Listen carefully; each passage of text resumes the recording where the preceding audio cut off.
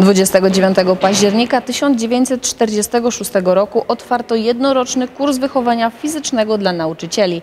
Od studium wychowania fizycznego poprzez Wyższą Szkołę Wychowania Fizycznego aż do znanej dziś Akademii Wychowania Fizycznego we Wrocławiu.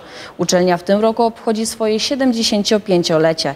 W tym czasie wychowała rzesze sportowców, w tym wielu olimpijczyków. Najgłośniej w ostatnich tygodniach było oczywiście o medalistkach z Igrzysk Olimpijskich i Paraolimpijskich w Tokio 2020. Stamtąd brązowy krążek w pływaniu przywiozła paraolimpijka Oliwia Jabłońska. Aż dwa medale, srebrny i najcenniejszy złoty zdobyła Natalia Kaczmarek. Obie sportowczynie to studentki Wrocławskiej Akademii. Fakt, że no na pewno tamten rok był dla mnie łatwiejszy ze względu na to, że były wszystkie zajęcia zdalnie, no to ja powiedzmy byłam nawet w Afryce czy w Portugalii mogłam brać udział w zajęciach, więc było dla mnie nieco łatwiej, ale tak też jakby godzę te, godzę te role.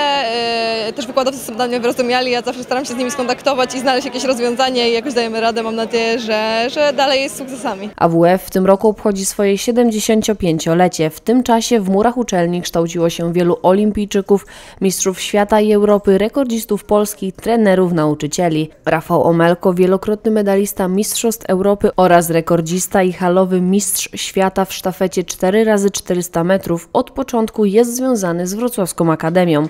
Teraz odebrał tytuł doktora. Jak dobrze liczę, 13 lat w sumie z, z uczelnią związany jestem. E, początki, e, no jak to student pierwszego roku, to nowe środowisko, trzeba było się odnaleźć. E,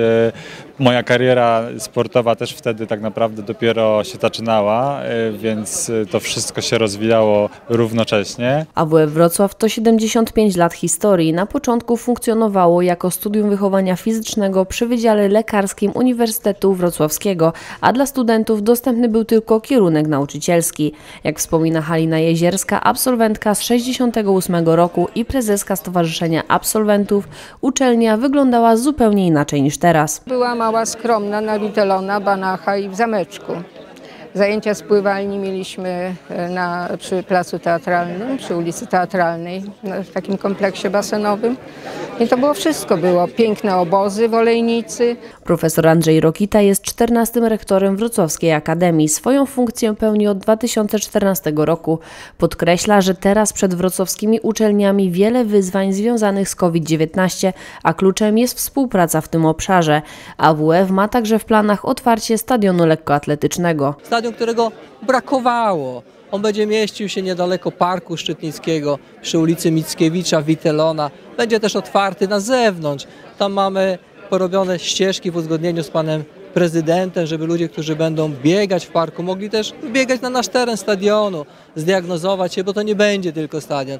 To będzie kompleks naukowo-badawczy, gdzie będziemy diagnozować uzdolnionych sportowców w lekkoatletyce. Otwarcie stadionu zaplanowano na 15 listopada. Echo 24, Oliwia Stasiak.